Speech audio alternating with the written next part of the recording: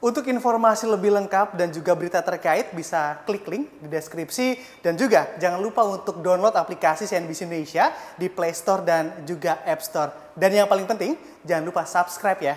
Mana harga saham Bank KB Bukopin atau BBKP melesat pada perdagangan hari ini setelah Pengadilan Tinggi Tata Usaha Negara memastikan proses pelaksanaan tugas OJK sesuai dengan peraturan dan perundang-undangan. Sebelumnya PT TUN memutuskan menolak penundaan pelaksanaan keputusan Dewan Komisioner Otoritas Jasa Keuangan tentang hasil penilaian kembali PT Bosowa Korporindo sebagai pemegang saham pengendali Bank Bukopin tanggal 24 Agustus 2020.